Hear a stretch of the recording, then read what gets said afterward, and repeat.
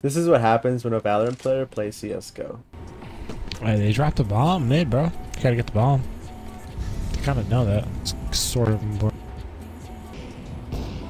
50. Well, I'm fucked. Bro, what happened? You literally left me.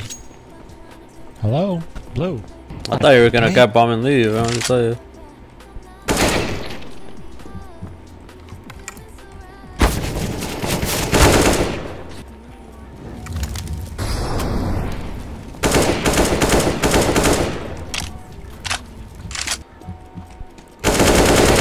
Nice.